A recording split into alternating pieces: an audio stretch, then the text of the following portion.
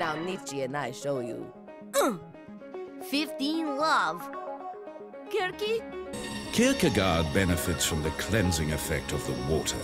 And although cold, wet, and unhappy, he adapts well to his new environment.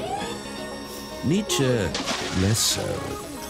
However, if we then transplant them to another environment, Nietzsche's physical attributes come into their own. Ah!